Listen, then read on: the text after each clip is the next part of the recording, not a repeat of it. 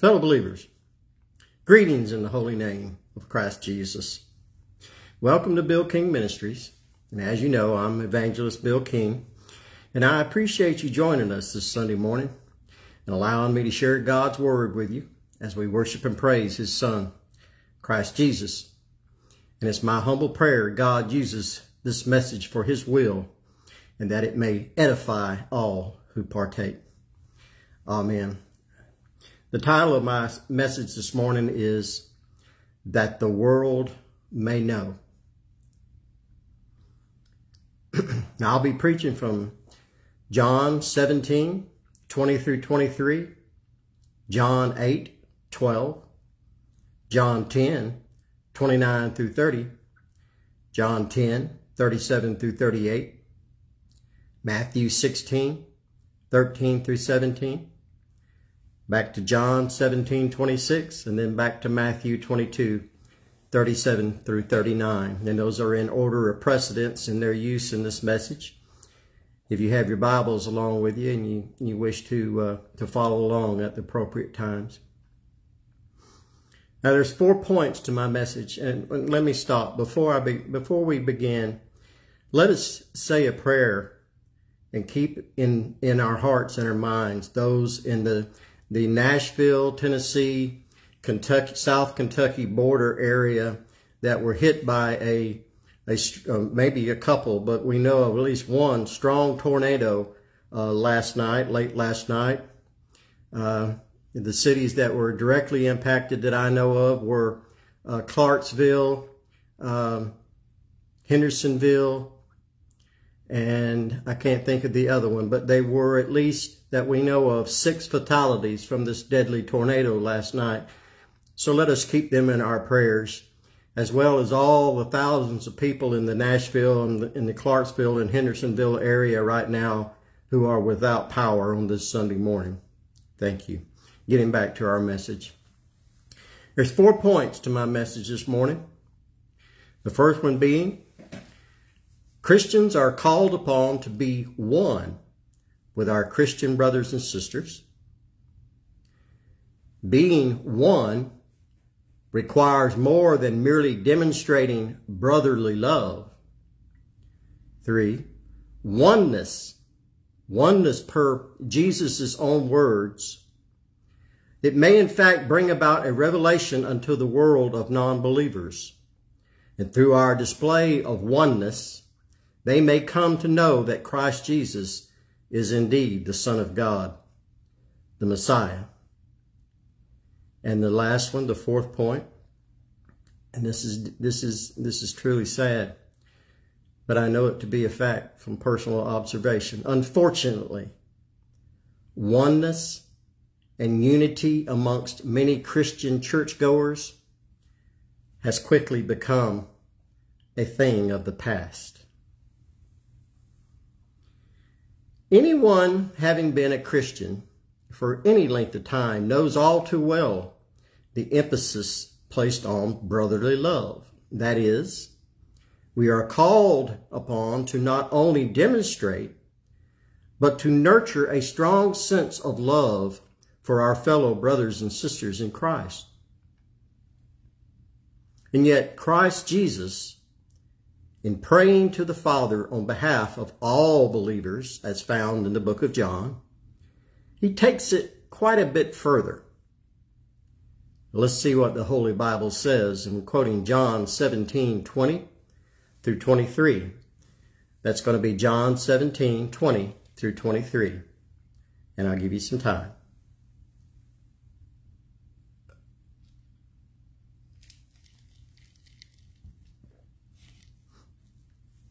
Perhaps out of all the apostles, Apostle John,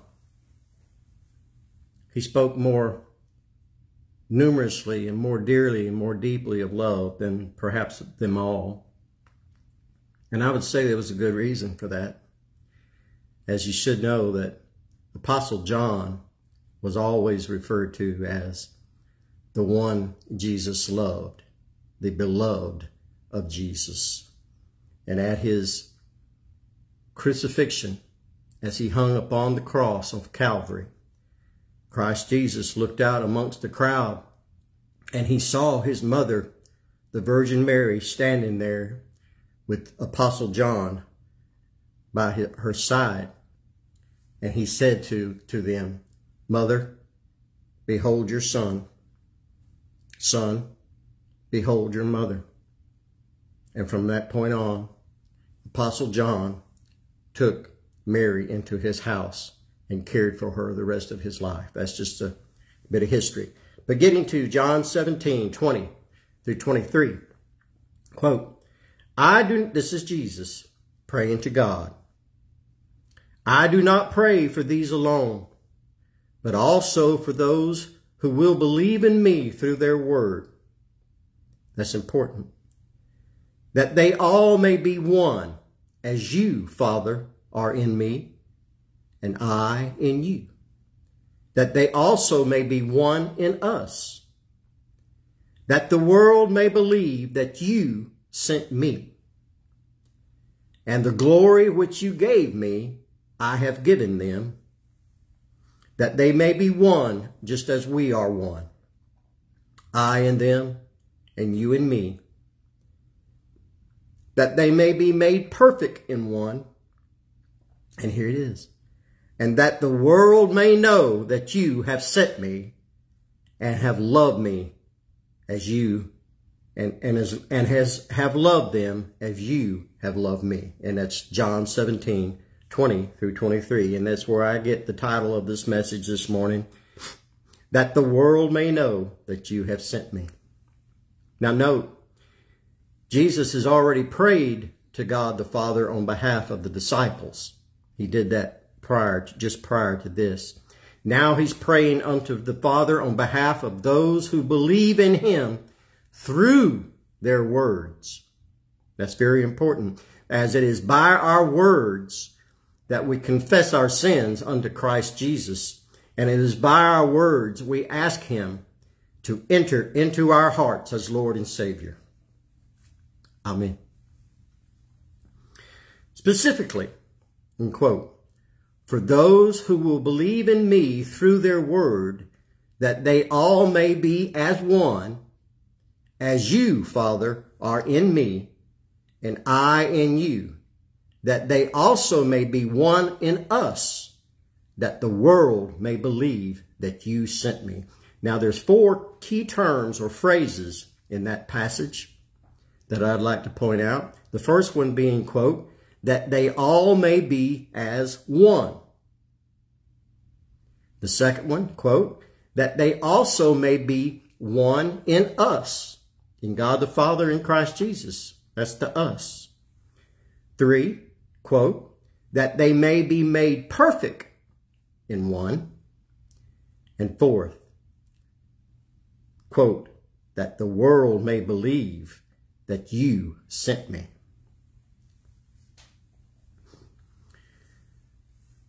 Brotherly love shared between children of God is truly a wonderful expression of faith. It is.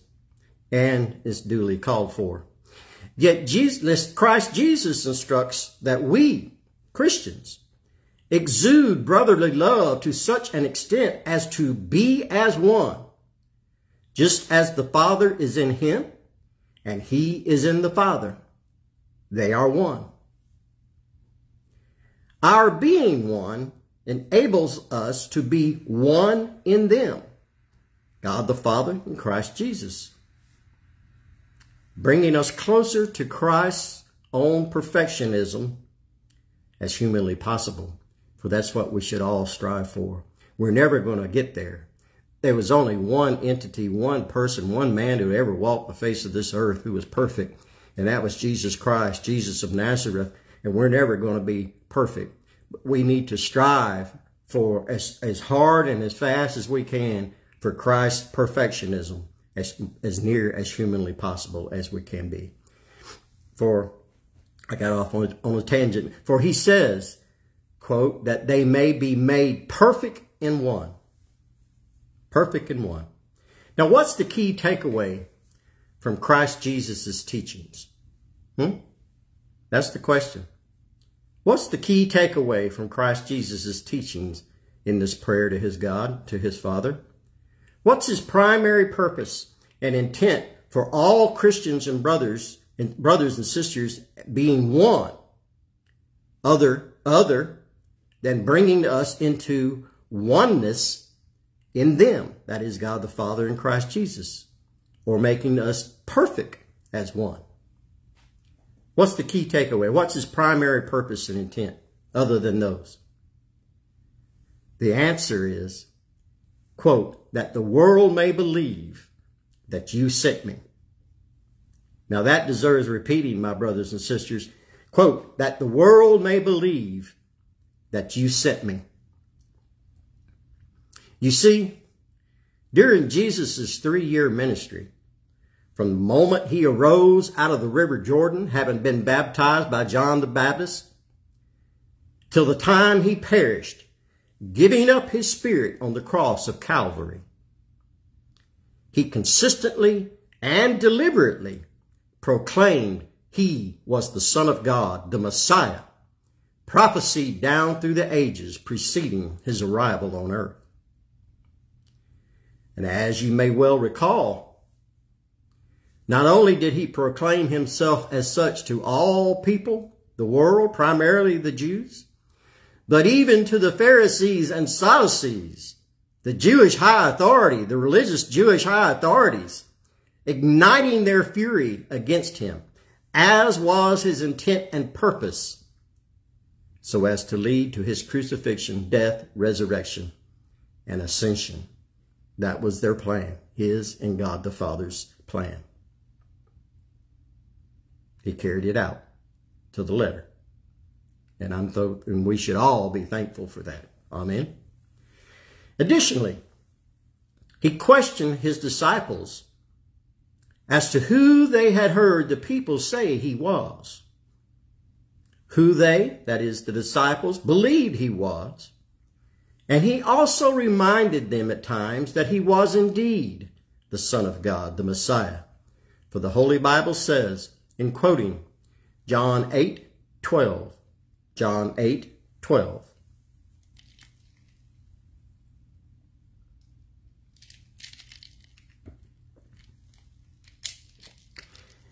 Quote, Then Jesus spoke to them again, saying, I am the light of the world.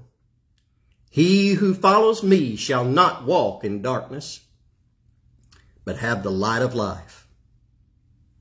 And in quoting John 10, 29 through 30, John 10, 29 through 30, quote, My Father, who has given them to me, is greater than all, and no one is able to snatch them out of my Father's hand.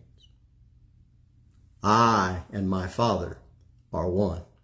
Jesus just affirmed right there that he was God incarnate. And in quoting John 10, 37 through 80, if I do not do the works of my Father, do not believe me.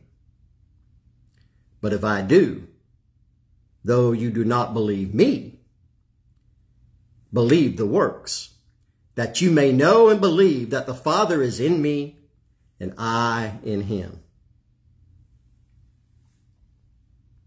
And our last quote on that, on that part, I'm going to quote Matthew 16, 13 through 17. Matthew 16, 13 through 17. And I'll give you a few minutes because we're jumping from John to Matthew. I'll give you a few minutes to get there. Matthew 16, 13 through 17.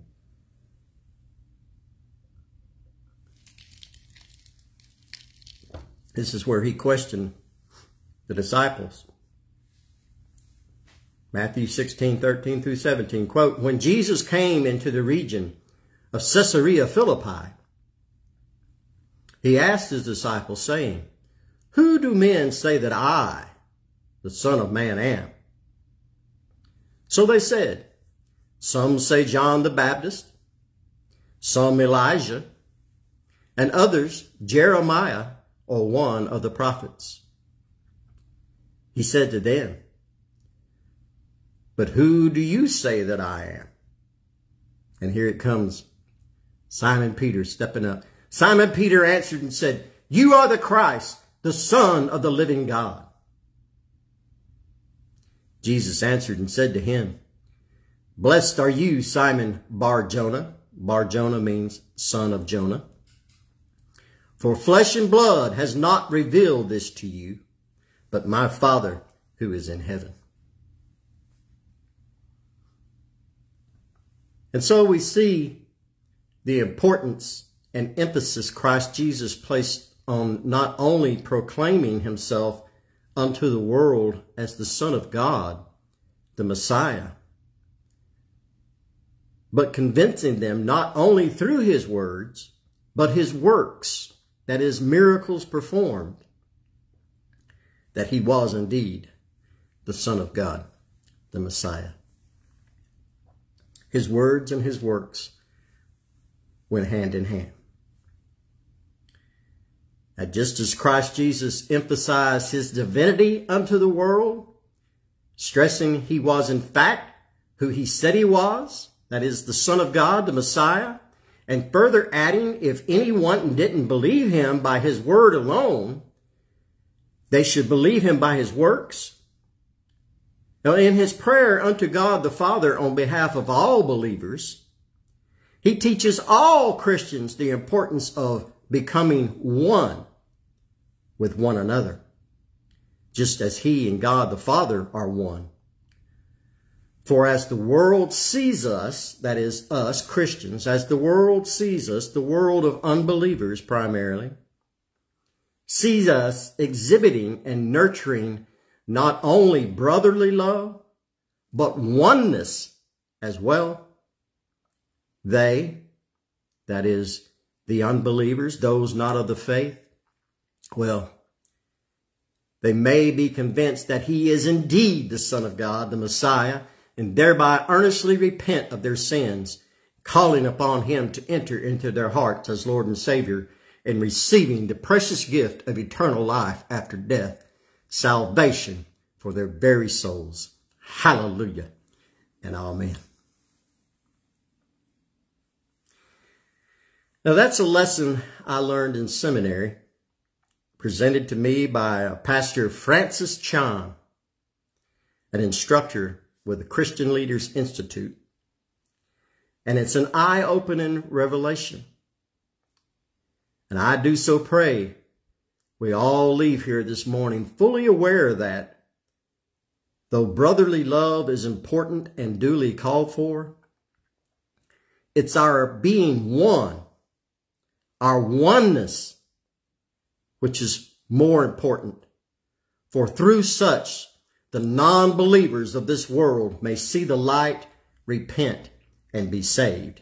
And that came out of Jesus Christ's own mouth. And if we can't trust and follow and obey that, then we have a serious problem, my brothers and sisters. Amen. Now, as a side note, my last point this morning, and some churchgoers some Christian churchgoers may take offense to this. Well, so be it. I don't preach what their ears want to hear. I preach what needs to be said by the word of God.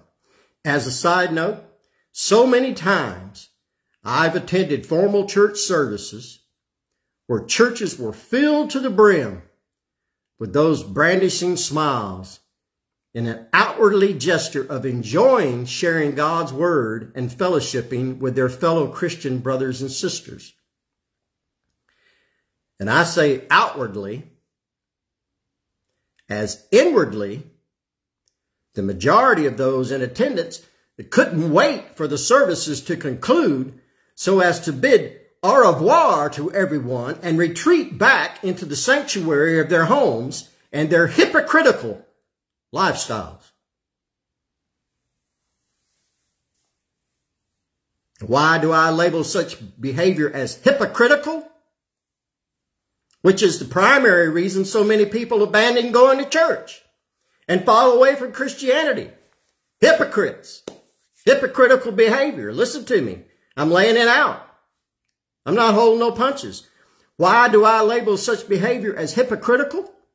Because by doing so, they weren't truly demonstrating or nurturing, putting into motion brotherly love or oneness with their Christian brothers and sisters as Christ Jesus so instructs.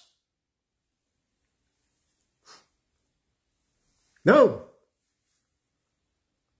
I experienced that in the last church that I, formal church setting that I attended for a while. And it's one of the reasons that drove me to this ministry and to be an evangelist and to preach the word myself. You won't find a hypocritical bone in me. If you do, you need to slap me upside the face and tell me about it. Amen? If hypocritical describes your own behavior when attending church or outside of church, I pray you take this message to heart and enact an immediate change within. Or my brothers and sisters, and listen to me, listen to me seriously, suffer the consequences of Christ's judgment for not doing so. Amen. And one last point before we conclude this service. Keying in on the continuation of Jesus' prayer unto God the Father on behalf of all Christians. It's all about love. It's all about love. Love is the most important element of God and of Jesus, and, and so should be amongst all Christian brothers and sisters. For he tells us, in quoting John 17, 26, and there's no reason to point there, to, to turn there, it's, it's real quick. John 17, 26, quote, And I have declared to them your name, and will declare it, that the love with which you love me may be in them and I in them. And Jesus tells us the two most important of all of God's commandments are, what are they? We're going to, we're going to find that in Matthew 22, 37 through 39, Matthew 22, 37 through 39. I'll give you time to get there because this is highly important. You do need to follow this.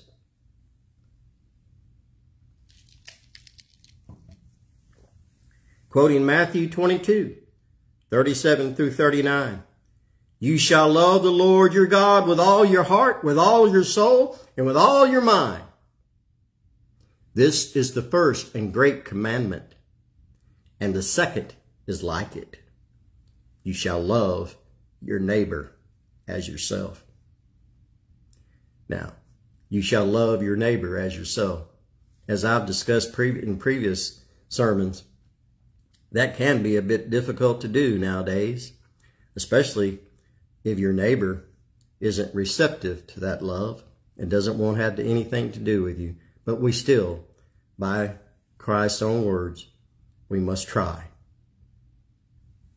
Now, as we draw near our conclusion, this is very important.